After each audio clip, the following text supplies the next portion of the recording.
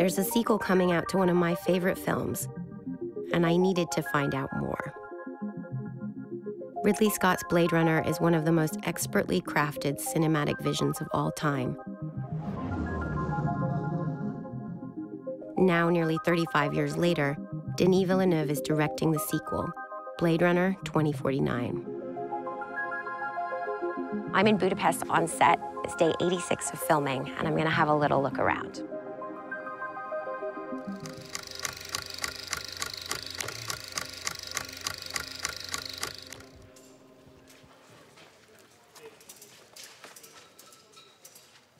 So tell me a little bit about where we are and what you're shooting right now. Right now we are doing some shots from uh, the main character uh, flying vehicle. It's Spinner, you know. It's shots where we did earlier in the shoot the aerials plate where the character is flying with the spinner. And today we are doing just close-ups. So it's day 86 of a 96-day shoot. How are you feeling personally? Um, it's by far my longest shoot of my life. It's not every day in your life that you have the chance to work with props or vehicles or great actors like that, so I feel blessed. To compose this unique world, Villeneuve worked closely with production designer Dennis Gassner, who created a universe that is both faithful to the original yet still stands alone. He walked me through his design concepts and how they were turned into both practical sets and visual effects. So this is the feeling of this world here, which is in the orange sky. The world is kind of monochromatic. The way I think is through musical feeling. You know, you put a lot of people in a dark room and you have to wake them up. So da da da da. So that's da da da da right there. Okay. So da da da da and then da da da da da da da da da so you bring the audience along uh, narratively through rhythms. In my case, it's color. So you raise things up. You want to create tension and passion in the audience. I think the design of the film was extraordinary. Whether you're working with, you know, a little dots and doing green screen, it doesn't matter. It's all about imagination, focus, concentration, understanding the ambition of a scene, trying to make that happen. On a green screen, you, you are bound to, to uh, computer graphics that tell you where to put the camera and what the actor, where he will look like. I hate. I mean, I was so grateful that the production agreed from the start that we will build everything. In a dystopian future, humans are forced to turn to alternative sources of food. And Dennis and his team created real physical versions of all of it. What's in here? This is uh, food eats the worms. So Worm, this- worm farm. This is protein in the future. The future's a pretty awful place. So all these set pieces are, are here for references. So it gives us lighting references and texture references for all the visual effects. So that's why we've done this. This is the trash mesa. It's insane to actually be on a set where there's like real physical mess. They've built this up for, I think it was like a soccer field maybe. Um, it's kind of a mixture of these rusty old parts, which they've, you know, salvaged from wherever, and rubberized foam. It's made to look like rusty metal. Over here is the spinner, the updated spinner which I'm fighting my real instinct to try and get into it, honestly. it looks insane.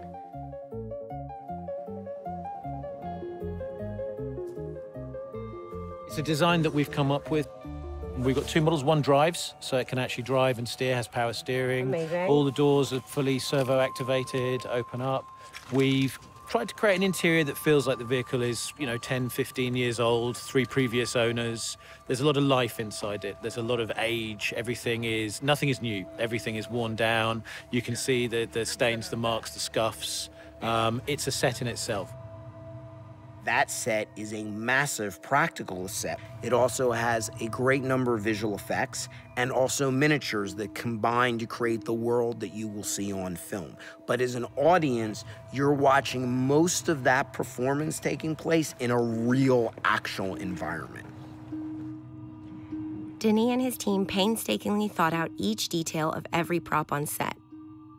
And the property master, Doug Harlocker, let me test out my favorite, the blaster.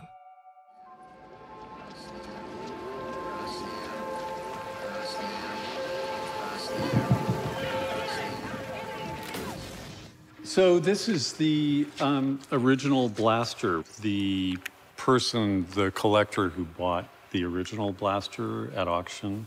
Oh, I bet he paid a- a pretty penny for those. He did pay a pretty penny, and I, I won't embarrass him by telling how much he paid. Anyway, we brought it to, to my shop. We took a, a really close look at it, and basically we recreated uh, the blaster again, bolt by bolt.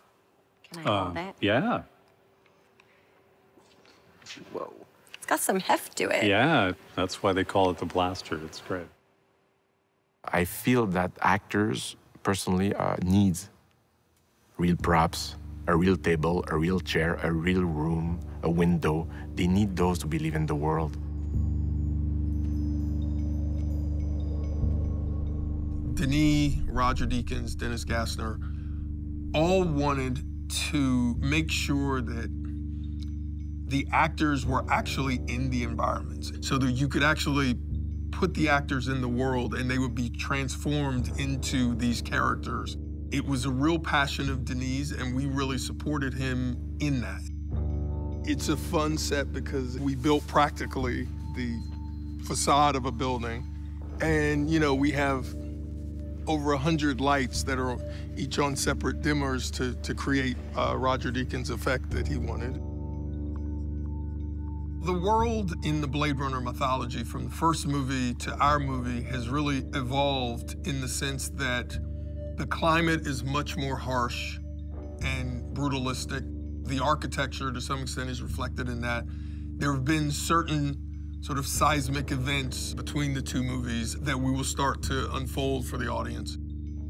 While the actors couldn't disclose much about their characters, I wanted to find out how they responded to the sets and what it was like to work together with Denis on this project.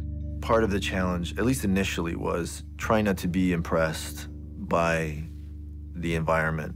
That this, in some way, had to be like the only thing I'd ever known as a character. I just tried to spend as much time there as I could. How did Denis paint this new Blade Runner for you? The first thing he said was, "In my Blade Runner, it snows. I'm Canadian. I need to work in a environment that I understand and that I know is real and truthful to me. And for me, that's snow."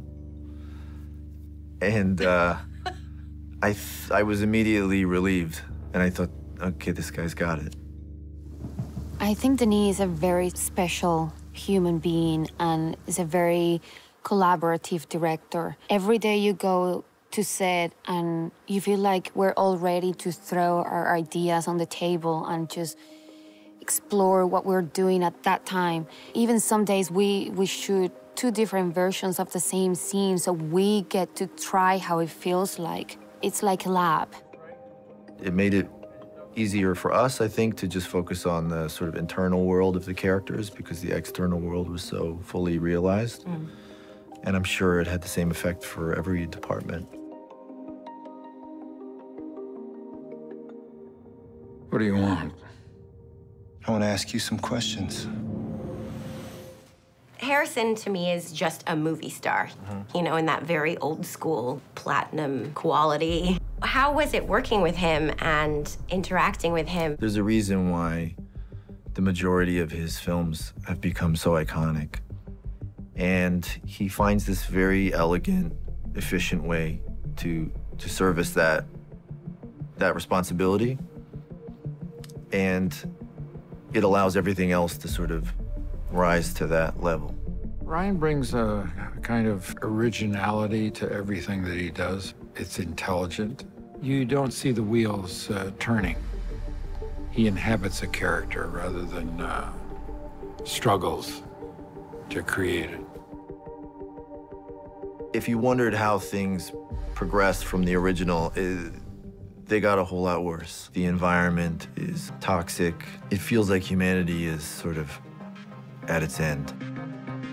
It feels very grounded, rooted, realistic extension of the original. The world will be recognizable to fans of Blade Runner stylistically, but it is a Denis movie. Ridley made some precise choices doing this first movie, and uh, I feel that he wanted me to protect the mystery. Can you tell me a little bit about your character and what it was like to inhabit the role and how you prepared for that? No. Are you and Ridley still arguing over whether Deckard is a replicant or not? No. No, we're not. Really? No. I heard that you guys were still debating even after all these years. It was resolved. So which is it? Oh, I, I cannot tell you. Well, God damn it, Harrison, why not? Because then that question will go away and people will not have that pleasure of debating it. Okay. Do you feel optimistic about the future of mankind? ハハハハ。